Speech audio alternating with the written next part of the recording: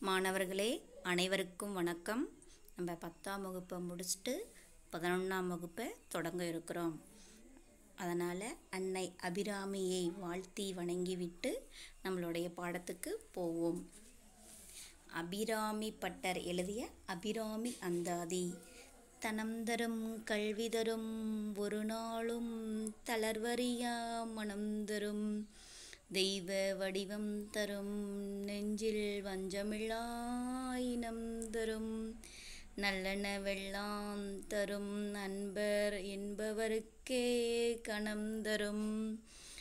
பூங்குழலாள் அபிராமி கடைக்கண்களே தனம் தரும் கல்வி தரும். ஒரு நாளும் தளர்வரியா மனம் தரும் தெய்வ வடிவும் தரும். நெஞ்சில் வஞ்சமில்லா இனம் தரும். நல்லன எல்லாம் தரும்.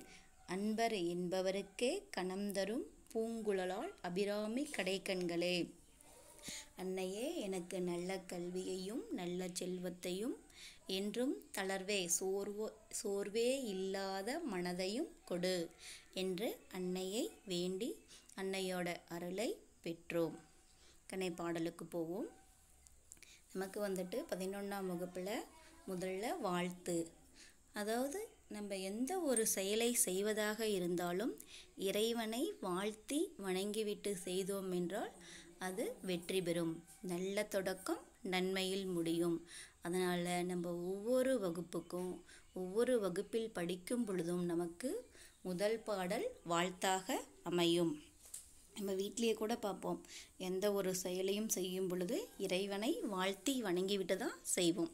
சரியா? அதுபோல் நமக்கும் இங்கே வாழ்த்து பாடல் தான் முதல் பாடலாக கொடுக்கப்பட்டுள்ளது. யுகத்தின் பாடல் யுகம் அப்படின்னா என்ன? ஊழிக்காலம் அப்படின்னு சொல்லுவாங்க. அதாவது அண்டப்பகுதியில் உண்டை பிறக்கும்.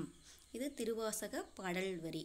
அதாவது எதுவுமே இல்லாத பெருவெளியில் அண்ட தோற்றத்திற்கு காரணமான ஒரு கருவானது பேரொளியுடன் தோன்றி பின் உருவமே இல்லாத ஐம்பூதங்கள் உருவாகி காற்று வானம் நீர் நெருப்பு நிலம் இதெல்லாம் உருவாகி அணுக்களுடன் வளர்ந்து பருப்பொருள்கள் சிதறும்படி பல ஊழிக்காலங்கள் கடந்து நெருப்பு பந்து உருவாகி அது குளிர்ந்து அதிலிருந்து தான் உயிர்கள் உருவாகியது. இது ஒரு ஊழிக்காலம். இதுபோல ஒவ்வொரு ஊழிக்காலமும் தோன்றி மறைகிறது. அதுபோல ஒரு யுகத்தில் தோன்றியது நம்மளுடைய தமிழ்மொழி அப்படி தோன்றிய தமிழ்மொழியை ஒவ்வொரு யுகத்திலும் பாடி புகழ வேண்டும் அப்படின்னு சொல்லி தான் நமக்கு இந்த பாடலை கொடுத்துருக்காங்க. நம் தமிழ்மொழியின் சிறப்பை பற்றி தான் இந்த பாடல். நம் தமிழ் மொழியானது கல் தோன்றி மண் தோன்றா காலத்தே முன் தோன்றிய மூத்த கொடி. இந்த கல்லும் மண்ணும் எப்போ தோன்றியதோ அப்பயே நம்மளுடைய தமிழ்மொழி தோன்றிவிட்டது. இது நம்முடைய அடையாளம் நம் பண்பாட்டின் வளர்ச்சி. நம் இனத்தின் மையப்புள்ளி. அந்த தமிழ்மொழி தான் நம்மளுடைய ஆதி அடையாளம். மனிதன் என்று தோன்றினான் என்பதை வரையறுத்து கூறுவது நம் தமிழ்மொழி பண்பாட்டு வளர்ச்சி பரிமாண வளர்ச்சி அப்படின்லாம் சொல்லலாம். அதாவது எடுத்த உடனே இப்போ இருக்கிற மொழியாக மாற்றம் பெறவில்லை. படிப்படியாக வளர்ந்தது தான் நம்மளுடைய தமிழ்மொழி இன்று அது செம்மொழியாக உயர்ந்தோங்கி நிற்கிறது. ஒரு இனத்தின் மைய புள்ளியாக விளங்குவது மொழி. நம்மளுடைய தமிழ் மொழியும் அப்படிதான். நம்மளுடைய இனத்தின் மையம் ஆணி வேராக இருப்பது நம்மளுடைய தமிழ். அது நம் இருப்பின் அடையாளம். நம்ம எப்பிலிருந்து இருக்கிறோம்? எப்போ உயிர்கள் தோன்றியது என்பதை அறுதியிட்டு கூறக்கூடியது நம்மளுடைய மொழி. நம் தாய்மொழியாம் தமிழ் மொழியின் வேர் சங்கத்தில் தொடங்கி இன்றைய காலம் வரை இடர்பல கலைந்து உயர்தனை செம்மொழியாய் செழித்தோங்கி இருக்கிறது. நம்ம தாய்மொழியான தமிழ் சங்க காலத்திலே தொடங்கி அது சங்க இலக்கியத்தில் தொடங்கி இன்றைய காலம் வரைக்கும் புதிய இல கவிதைகள் புதிய இலக்கியங்கள் வரைக்கும் தொடர்ந்து இடையில பல இன்னல்களை அடைந்து அதையெல்லாம் தூக்கி எறிந்து இன்று உயர்தனி செம்மொழியாக நிலைத்து நிற்கிறது. நிறைய மொழிகள் வந்துட்டு உயர்தனி செம்மொழி அப்படின்லாம் சொன்னாங்க லத்தீன் ஈப்ரோ கிரேக்கம். அதெல்லாம் கால வெள்ளத்தால் அழிந்து போனது. ஆனால் நம்மளுடைய தமிழ் மொழி மட்டும் இன்றும் அழியாமல் வெள்ளத்தால் வெந்து நீரால் தணிந்து இன்றும் அழியாத பெருமிதத்தோடு சிறப்பாக நிற்கிறது. இந்த பாடலை எழுதியவர் அப்படி யாருன்னு பார்த்தோம்னா சு. வில்வரத்தினம். இவர் வந்துட்டு யாழ்ப்பாணத்தில் உள்ள புங்குடு தீவில் பிறந்தவர். ஆயிரத்தி தொள்ளாயிரத்தி ஐம்பது. இது வந்து இலங்கையில் இருக்குது சரியா? இவர் வந்துட்டு கவிதைகள் இயற்றுவதுடன் சிறப்பாக பாடும் திறனும் கொண்டவர். உயிர்த்தெழும் காலத்துக்காக என்ற தலைப்பில் ரெண்டாயிரத்தி ஒன்றில் தொகுக்கப்பட்ட கவிதைகள் இயற்றுவதுடன் சிறப்பாக பாடும் திறனும் கொண்டவர் இவர். இவருடைய இரண்டு கவிதைகளிலிருந்து நமக்கு பாடல் தேர்ந்தெடுக்கப்பட்டு கொடுக்கப்பட்டுள்ளது. இவர் எங்கே பிறந்தார்? யாழ்ப்பாணத்தில் பிறந்தார். ஆயிரத்தி தொள்ளாயிரத்தி ஐம்பதில் பிறந்தார். எங்கன்னா யாழ்ப்பாணத்தில் உள்ள புங்குடுதூவில பிறந்தார். இவருடைய கவிதை உயிர்த்தெழும் காலத்துக்காக என்ற தலைப்பில் ரெண்டாயிரத்தி ஒன்றில் தொகுக்கப்பட்டது.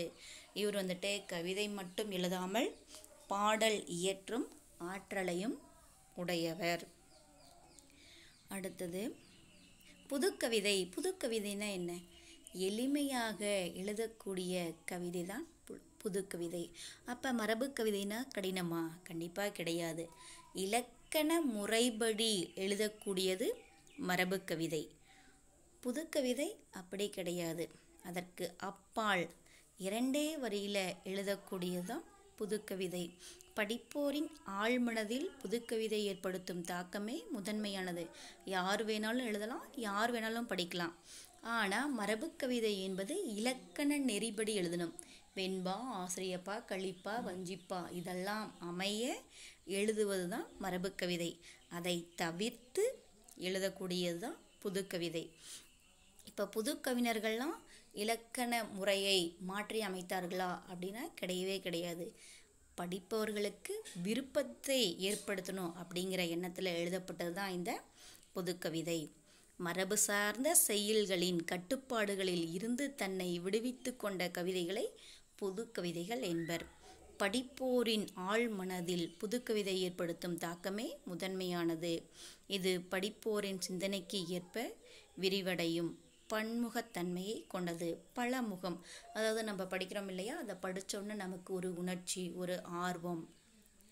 ஒவ்வொருத்தரும் படிப்போம். பலமுகம் கொண்டவங்கள் படிப்போம். அதை பல நோக்கத்தோட படிப்போம். அப்போ படிக்கும் பொழுது நமக்கு ஒரு உணர்ச்சியை ஏற்படுத்தும். நம்மளும் பார்க்கும்போது இயற்கையை பார்க்கும் பொழுதோ ஒரு பொருளை பார்க்கும் பொழுதோ ஒரு தாக்கத்தை ஏற்படுத்தி ஏற்படுத்தி கவிதை இயற்றும் ஆற்றலையும் ஏற்படுத்தும். அதுதான் புதுக்கவிதை. மிக எளிய நடையை உடையது தான் புதுக்கவிதை. ரசுல் கம்சதோ அப்படிங்கிற கவிஞர் என்ன சொல்கிறாருன்னா தம் இனத்தையும் மொழியையும் பாடாத கவிதை வேறில்லாத மரம் கூடு இல்லாத பறவை. வேர் இல்லைன்னா மரம் நிலைத்து நிற்காது கூடு இல்லைன்னா அங்கே பறவை இருக்காது. அதுபோல தன்னுடைய இனத்தை பற்றியும் ஒரு கவிதை இருக்க வேண்டும் தன்னுடைய மொழியை பற்றியதாகவும் கவிதை இருக்க வேண்டும். அதை தவிர்த்து நம்ம கவிதை எழுதினோம் என்றால் கண்டிப்பாக அது சிறப்பாக இருக்காது. கனை பாடலுக்கு போவோமா? என் அம்மை ஒற்றி எடுத்த நெற்றிமண் அழகே வழி வழி நினதடி தொழுதவர் உழுதவர் விதைத்தவர் வியர்த்தவர் எல்லாம் நிறைமணி தந்தவளே. உனக்கு பல்லாண்டு பல்லாண்டு பல்லாயிரத்தாண்டு பாடத்தான் வேண்டும். காற்றிலேறி கனைக்கடலை நெருப்பாற்றை மலை முகடுகளை கடந்து செல் என செல்லும் ஓர் பாடலை கபாடபுரங்களை காவு கொண்ட பின்னும் காலத்தால் சாகாத துள் கனிமங்களின் உரமெல்லாம் சேர பாடத்தான் வேண்டும். ஏடு தொடக்கி வைத்த என் அம்மை மண்ணிலே தீட்டி தீட்டி எழுதுவித்த விரல் முனையை தீயிலே தோய்த்து திசைகளின் சுவரெல்லாம் எழுதத்தான் வேண்டும். எழுகின்ற யுகத்தினோர் பாடலை. கனை பாடலோட பொருள் பார்க்கலாம். என் அம்மை ஒற்றியெடுத்த நெற்றிமண் அழகே. என் அம்மை என் தமிழ் அம்மை. நெற்றியில் வைத்திருக்கக்கூடிய அந்த நெத்தி திலகம்னு சொல்லுவாங்க இல்லையா? அதாவது நம்ம போருக்கு போகும் பொழுது மற்ற நேரங்கள்லாம் வச்சுருப்பாங்க இல்லையா? அந்த நெற்றி திலகம் அந்த பொட்டு மிகவும் அழகானது. வழி வழி நினதடி தொழுதவர் உழுதவர் விதைத்தவர் வியர்த்தவருக்கெல்லாம் நிறைமணி தந்தவளே. வழி வழி வழி வழியாக. இப்போ நம்ம எப்படி இந்த பூமியில் விவசாயம் செய்கிறோம் இல்லையா நிலத்தை பக்குவப்படுத்தி விதை விதைத்து அதுக்கப்புறம் அதில் இருக்கக்கூடிய களைகளை எல்லாம் நீக்கி அதுக்கப்புறம் நெல்மணி வரும் இல்லையா? நெல்மணி தான் இங்கே நிறைமணி. அதை பார்க்கும் பொழுது நம்மளுக்கு ஒரு மகிழ்ச்சி ஏற்படும் இல்லையா? அதுபோல வழி வழி வழி வழியாக வந்த கவிஞர்கள் புலவர்கள் நின நினதடி உன்னுடைய அடியை பாதத்தை தொழுது வணங்கி உழுதவர் விதைத்தவர் பாடலை எழுதியவர் அதுக்கப்புறம் அதில் ஏற்பட்ட பிழைகளெல்லாம் நீக்கி அதாவது யாப்பு முறைப்படி வெண்பா ஆசிரியப்பா களிப்பா வஞ்சிப்பா இதையெல்லாம் இயற்றி வியர்த்தவருக்கெல்லாம் இந்த மாதிரி எழுதுவதற்கு ஏற்புடைய தமிழ் மொழியே என்று வியந்து கூறியவர்களுக்கெல்லாம் நிறைமணி தந்தவளே புகழை ஏற்படுத்தியவளே. நிறைமணினா இங்கே புகழ் புகழை ஏற்படுத்தியவளே. யாராக இருக்குது மரபு சார்ந்த கவிஞர்கள் அந்த காலத்தில். இப்போ புது கவிஞர்கள் கம்பர் இளங்கோவடிகள் சீத்தலை சாத்தனார் இப்போ இருக்கக்கூடிய பாரதியார் பாரதிதாசன் கண்ணதாசன் இந்த இது போல பல புலவர்களுக்கு புகழை ஏற்படுத்தி தந்தவளே. இன்றும் அவங்கள பற்றி நம்ம பேசுகிறோம் பாடுறோம். இதுக்கெல்லாம் காரணம் யாரு? நீதான். உனக்கு பல்லாண்டு பல்லாண்டு பல்லாயிரத்தாண்டு பாடத்தான் வேண்டும். உனக்கு என்ன பண்ணணும்? பல்லாயிரம் பாட வேண்டும். பல்லாயிரம் என்னது? நாலாயிரம் திவ்ய பிரபந்தத்தில் சொல்லுவாங்க இல்லையா பல்லாயிரம் பல்லாயிரம் பல்லாயிரத்தாண்டு அப்படின்னு. அதாவது அந்த மொழியை புகழ்ந்து பாடுவது. எந்த ஒரு செயலாக இருந்தாலும் சரி செய்தவர்களாக இருந்தாலும் சரி அவர்களை போற்றி புகழ்ந்து பாடுவது. இப்போ நம்ம ஒருத்தர் வந்து பார்த்து நமக்கு அவங்கள ரொம்ப பிடிச்சி போச்சு அவங்கள வாழ்த்தணும்னு நினச்சோம்னா நூறு வருஷம் நல்லா இருமா அப்படின்னு சொல்கிறோம் இல்லையா? அதுபோல் தமிழ் மொழியை பல்லாயிரம் பாட வேண்டும். பல்லாயிரம் ஆண்டு அதை பற்றி சிறப்பாக திருப்பல்லாயிரம் பாட வேண்டும். கண்டிப்பாக பாடத்தான் வேண்டும். மற்றவங்கள பார்த்து நீ நல்லாருன்னு சொல்லுவியோ சொல்ல மாட்டேயோ அது தெரியாது. ஆனால் தமிழ் மொழியை கண்டிப்பாக பாடி போற்றி புகழ வேண்டும் என்று அறுதியிட்டு கூறுகிறார். உனக்கு பல்லாண்டு பல்லாண்டு பல்லாயிரத்தாண்டு பாட வேண்டும். அப்படின்னு பாடத்தான் வேண்டும். கண்டிப்பாக பாடியாக வேண்டும் அப்படின்னு சொல்கிறாரு காற்றிலேறி கனைக்கடலை நெருப்பாற்றை மலை முகடுகளை கடந்து செல் என செல்லுமோர் பாடலை. காற்றில் ஏறி காற்றின் மீதேறி. நம்ம போகிறதுக்கு என்ன வேணும்? ஆகாய விமானம்லாம் வேணும். ஆனால் தமிழ் மொழி போவதற்கு அதெல்லாம் எதுவுமே தேவையில்லை. காற்றில் ஏறி கனைக்கடலை கடந்து அதாவது கனைனா ஓசை உடைய அந்த அலையால் ஏற்படக்கூடிய அந்த ஓசை. ஓசை உடைய கடலை கடந்து நெருப்பாற்றை நெருப்பாறு அப்படிங்கிறது இல்லாதது இங்கே உருவகம். ஆறை வந்துட்டு நெருப்பாக உருவகம் செஞ்சுருக்காங்க. நெருப்பாற்றை மலை முகடுகளை கடந்து செல் என செல்லும் ஊர் பாடலை செல்லக்கூடிய பாடலை அதாவது கடல் கடந்து ஆறு கடந்து மலை முகடு மலை முகடுனா மலையோட உச்சி. உச்சியெல்லாம் கடந்து அதை கடந்து வந்து கபாடபுரங்களை காவு கொண்ட பின்பும் கபாடபுரம் அப்படின்னா முதல்ல வந்துட்டு தமிழ்ச்சங்கம் மதுரையில் இருந்தது வட மதுரையில் இருந்தது. அது ஆழிப்பேரலே ஏற்பட்டு அழிந்து போச்சு அப்படின்னாங்க. அடுத்தது இரண்டாவது தமிழ்ச்சங்கம் கபாடபுரத்தில் இருந்தது. அதுவும் வந்துட்டு காவு அப்படின்னா அழிஞ்சு போச்சு. ஆழிப்பேரலை ஏற்பட்டு அதுவும் அழிஞ்சு போச்சு. அப்படி அழிந்து போனாலும் அழிந்த பின்பும் காலத்தால் சாகாத சாகாத அப்படின்னா இரவாத இன்னும் நீங்காத. தொல்கனிமங்கள் தொல்கனிமம்னா என்னது? இலக்கிய இலக்கண வளம். சரியா? தொன்மையான இலக்கிய இலக்கணம். கனிமம்னா இலக்கிய இலக்கணம். வளமுடைய தமிழை உரமெல்லாம் சேர வலிமையெல்லாம் கொண்டு நம்மளுடைய வலிமையெல்லாம் நம்மக்கிட்ட இருக்கக்கூடிய அந்த அறிவு திறமை எல்லாத்தையும் போட்டு பாடத்தான் வேண்டும். எப்படி பாடணும் அப்படின்னா கடல் கடந்து ஆறு கடந்து மலை முகடையெல்லாம் கடந்து இரண்டாம் தமிழ்ச்சங்கம் வைத்து தமிழ் வர வளர்த்த கபாடபுரத்தை ஆழிப்பேரலை அழித்த பின்னும் காலத்தால் இரவாத இலக்கிய இலக்கண வளமுடைய தமிழை வலிமை கொண்டு அதனுடைய புகழை நம்ம பாடத்தான் வேண்டும். அப்படின்னு சொல்கிறாங்க அதுதான் இங்கே சொல்கிறாங்க காற்றிலேறி கனைக்கடலை நெருப்பாற்றை மலை முகடுகளை கடந்து செல் என செல்லும் ஓர் பாடலை கபாடபுரங்களை காவு கொண்ட பின்னும் காலத்தால் சாகாத தொல் கனிமங்களின் உரமெல்லாம் சேர பாடத்தான் வேண்டும்.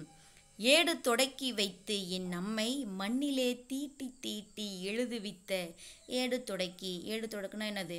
ஏட்டில் குறிப்பேட்டில் எழுதுவதை தொடங்கி. எப்போ தொடங்கும் நம்ம?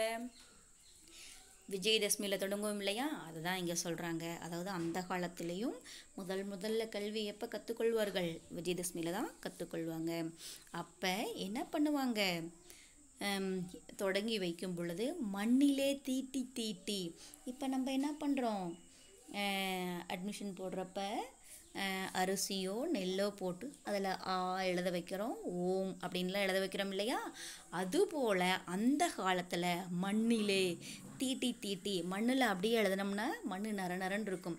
அந்த மண்ணை நல்லா தீட்டி நல்லா ஜலித்து சரி பக்குவப்படுத்தி அதில் எழுதுவித்த விரல் முனையை தீயிலே தோய்த்து அந்த விரல் முனையை அப்போ வந்துட்டு பேனா பென்சில் எதுவுமே கிடையாது. நம்ம விரல்லே தான் என்ன பண்ணுவோம்? மண்ணை சமமாக பரப்பி விட்டு அதுக்கப்புறம் நம்ம விரல் நுனியில் தான் எழுதுவோம். அப்படி எழுதக்கூடிய அந்த விரல் நுனியை தீயிலே தோய்த்து திசைகளின் சுவரெல்லாம் எழுதத்தான் வேண்டும். அதாவது என்ன பண்ணணும்? அந்த விரல் முனையை தீயில நினச்சி வேற எதுலையும் நினைக்கக்கூடாது நெருப்பில் நினச்சி. ஏன்னா நெருப்பு தான் என்ன பண்ணும்? வேகமாக பரவும். இப்போ ஒரு இடத்துல நெருப்பு பற்றிக்குச்சுன்னா என்ன ஆகும்? அடுத்தடுத்த இடத்துக்கு பரவிக்கிட்டே இருக்கும். அப்போ அந்த விரல் முனையை தீயிலே நினைத்து திசை வடக்கு தெற்கு மேற்கு அப்படி இருக்கக்கூடிய எல்லா திசைகளின் சுவர் திசைக்கு சுவர் இருக்கா? கிடையாது அப்போ எங்கே எல்லையற்று எல்லா இடங்களுக்கும் நம்ம என்ன பண்ணணும்? எழுத வேண்டும். அப்போ பரப்ப வேண்டும் நம்மளுடைய தமிழ் மொழியை. எழுகின்ற யுகத்தினோர் பாடலை ஒவ்வொரு யுகத்திலையும் ஏற்படுகின்ற ஏற்படக்கூடிய இந்த பாடலை உருவாக்கக்கூடிய பாடலை நம்ம ஒவ்வொரு யுகத்திலையும் எழுதிக்கிட்டே தான் இருக்க வேண்டும் அப்படின்னு சொல்கிறாரு அதாவது ஏடு தொடக்கி வைத்த என் அம்மை என் அம்மை. அதாவது நம்ம எழுதுவதற்கு காரணமாக இருப்பது எது? நம்மளுடைய தமிழ் மொழி தான் இப்படி ஒரு மொழி இருக்கிறதுனால தான் நம்ம என்ன பண்ணுறோம் எழுதுகிறோம் சரியா? அதை மண்ணிலே தீட்டி தீட்டி எழுதுவித்த விரல் முனையை தீயிலே தோய்த்து திசைகளின் சுவரெல்லாம் எழுத வேண்டும். வடக்கு மேற்கு தெற்கு என்ற எல்லா திசைகளிலும் எழுத வேண்டும். வடமேற்கு தென்மேற்கு தென்கிழக்கு வடகிழக்கு எல்லா பகுதிகளிலும் எழுத வேண்டும். எழுகின்ற யுகத்தினோர் பாடலை. ஒவ்வொரு யுகத்திலும் ஒவ்வொரு ஊழிகாலத்திலும் தோன்றக்கூடிய பாடலை நம்ம என்ன பண்ணோம்? எல்லா திசைகளிலும் எழுத வேண்டும் என்று தமிழ் மொழியின் சிறப்பை பாடியிருக்கிறார். கண்ணே இந்த கடைசி ஏடு தொடக்கி வைத்து இது வந்து மனப்பாட பகுதி. இதை மட்டும் நம்ம மீண்டும் ஒரு முறை பார்க்கலாம் கண்ணு. ஏடு தொடக்கி வைத்து என் நம்மை மண்ணிலே தீட்டி தீட்டி எழுதவித்த விரல் முனையை தீயிலே தோய்த்து திசைகளின் சுவரெல்லாம் எழுதத்தான் வேண்டும் எழுகின்ற யுகத்தினோர் பாடலை. என்ன சொல்கிறாங்க என் அம்மை ஒற்றி எடுத்த அந்த நெற்றிமண் வச்சிருக்கிற அந்த திலகம் அழகானது. இந்த என்னுடைய தமிழ் மொழியை கற்றவர்களுக்கெல்லாம் புகழை தேடி தந்தவள். இந்த தமிழ் மொழியை நம்ம போற்றி பாட வேண்டும். கண்டிப்பாக பாடியாகவே வேண்டும் அப்படின்னு சொல்கிறாரு அதுக்கப்புறம் என்னது? கடல் கடந்து ஆறு கடந்து மலை முகடை எல்லாம் கடந்து இரண்டாம் தமிழ்ச்சங்கம் மொத்தம் இப்போ இதோட நாலாவது தமிழ்ச்சங்கம் இருக்குது முதல் தமிழ்ச்சங்கம் இரண்டாம் தமிழ்ச்சங்கம் மூன்றாம் தமிழ் சங்கம். முதல் இரண்டு தமிழ்ச்சங்கங்கள் ஆழி பேரலையால் அழிந்து போயிற்று. இப்போ மூன்றாம் தமிழ்ச்சங்கம் இருந்தது. சங்கம் வைத்து தமிழை வளர்த்தவர்கள் பாண்டியர்கள். சரியா? இந்த இரண்டாம் தமிழ்ச்சங்கம் வைத்து தமிழை வளர்த்தார்கள். அப்போ வந்து ஆழிப்பேரலையால் அது அழிந்து போனது.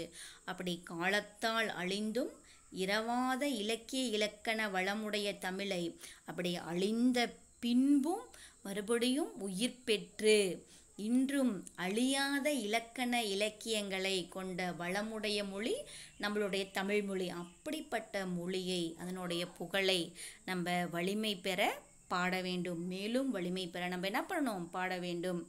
ஏடு வைத்த அதாவது எழுத படிக்க பேச வைத்த தமிழ் அன்னையை திசைகள் தோறும் அதனுடைய புகழ் மேலும் மேலும் பரவ நம்ம என்ன பண்ணோம் நிறைய நூல்களை எழுத வேண்டும். அப்படின்னு சொல்கிறார் ஒவ்வொரு யுகத்திலையுமே எழுத வேண்டும் அப்படின்னு சொல்லி சொல்கிறார். பாடலில் ஒரு முறை பார்த்தலாம் என் அம்மை ஒற்றி எடுத்த நெற்றிமண் அழகே வழி வழி நினதடி தொழுதவர் உழுதவர் விதைத்தவர் வியர்த்தவருக்கெல்லாம் நிறைமனை தந்தவளே உனக்கு பல்லாண்டு பல்லாண்டு பல்லாயிரத்தாண்டு பாடத்தான் வேண்டும். காற்றிலேறி கனைக்கடலை நெருப்பாற்றை மலைமுகடை கடந்து செல் என செல்லும் ஓர் பாடலை கபாடபுரங்களை காவு கொண்ட பின்னும் காலத்தால் சாகாத தொல் கனிமங்களின் உரமெல்லாம் சேர பாடத்தான் வேண்டும். ஏடு தொடக்கி வைத்து என் நம்மை மண்ணிலே தீட்டி தீட்டி எழுதவித்த விரல் முனையை தீயிலே தோய்த்து திசைகளின் சுவரெல்லாம் எழுதத்தான் வேண்டும். எழுகின்ற யுகத்தினோர் பாடலை. கண்ணை புரிஞ்சிருக்கும்னு நினைக்கிறேன். நன்றி குழந்தைகளே.